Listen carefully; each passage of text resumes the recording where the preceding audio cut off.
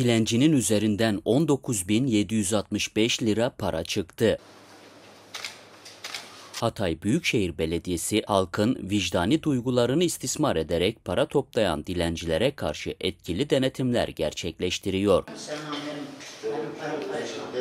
Hatay Büyükşehir Belediyesi Zabıta Daire Başkanlığı Hatay genelinde halkın huzurunu muhafaza etmek, dilencilere karşı faaliyet yürütmek gibi konularda denetimlerini düzenli aralıklarla sürdürüyor.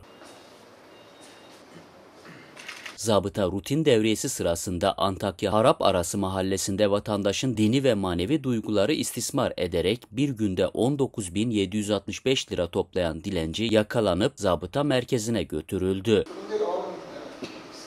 Burada dilencinin üzerinden çıkan paralar masaya sığmadı. Zabıta ekipleri tarafından idari yaptırım tutanağı düzenlendi ve üzerinde çıkan paraya kamuya aktarılmak üzere el konuldu. Yetkililer ise kolay yoldan para kazanmayı meslek edinmiş dilencilere para verilmemesini belirtti.